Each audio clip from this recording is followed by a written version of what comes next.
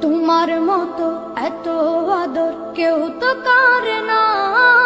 সবার থেকে প্রিয় তুমি তুমি আমার মা। তোমার মতো এত আদর কেউ তো কারে না। সবার থেকে প্রিয় তুমি